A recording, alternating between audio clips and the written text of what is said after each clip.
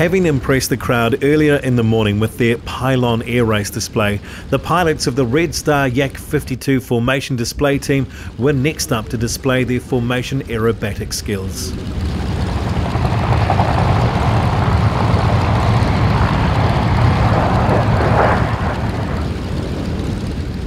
With eight aircraft to get into the air in a short space of time, it's most efficient for the team to take off in pairs and the relatively compact nature of the Yak 52s makes this easy to achieve.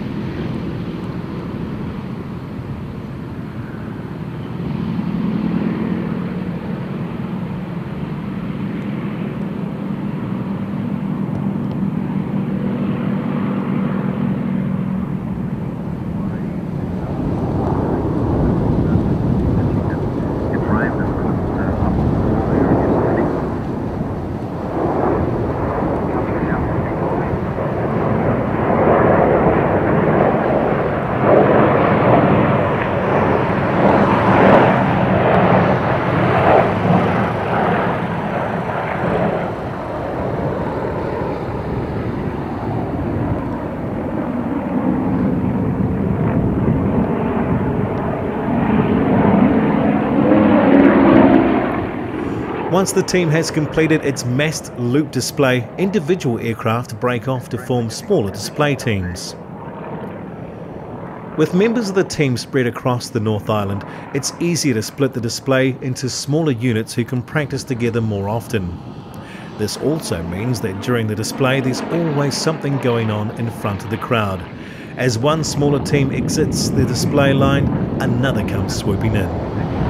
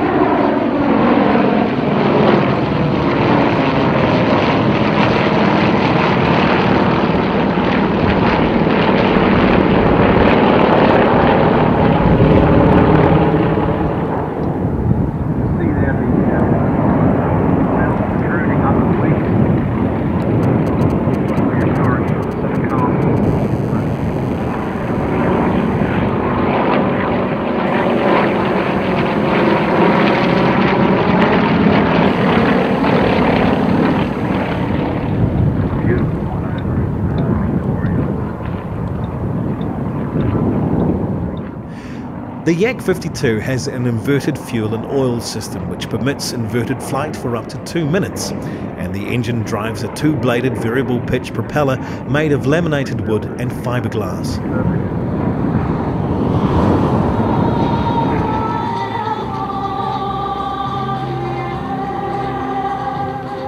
It's a very responsive and capable aerobatic aircraft and has been used in international aerobatic competition up to an advanced level.